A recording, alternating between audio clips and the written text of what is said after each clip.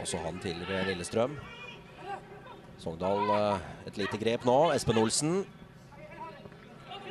Blir innlegg fra Flo. Treffer Rudolfsen, og så er det en sjanse for Espen Olsen. Og Espen Olsen har gitt eh, Sogndal den åpningen de ville ha på bortebane mot eh, Strømmen.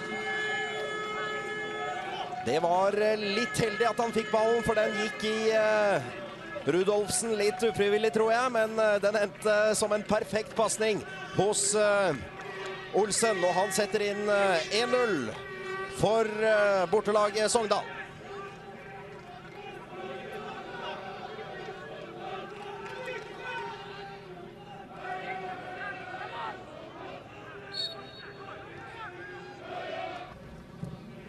Ja, bra ball mot Andreas Moen, som ikke er i offside, eh, mener assistentdommeren. Og innlegget det går i hånda på en Sogndal-spiller, og Strømmen har fått eh, straffe. Og jeg syns dommer Trond Ivar Døvle ventet veldig lenge før han blåste der.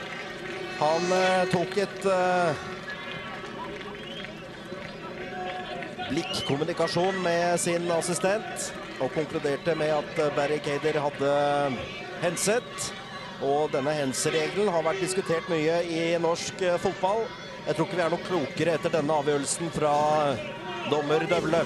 Men straffa er det til eh, Strømmen.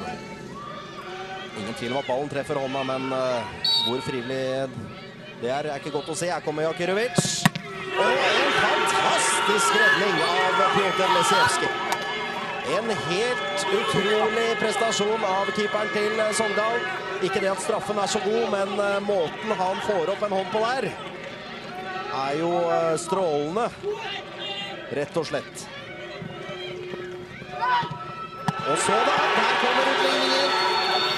Da hjelper det ikke å redde straffe, for på den påfølgende corneren så er eh, Bjørnevik der for Strømmen og heter den i mål. Og da står det 1-1. Strømmen har fått en eh, sterk åpning på andre omgang.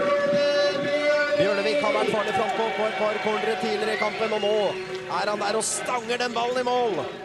Ingen fra Sogndal som matcher han i lufta. Der har eh, Sogndal et problem. Det er eh, Hovland som ikke kommer opp. Sent, men godt. Se her.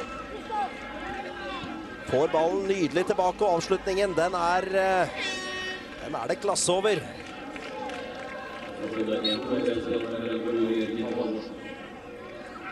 Bra gjort av Halvorsen, og Sogndal-fansen er selvfølgelig veldig fornøyd.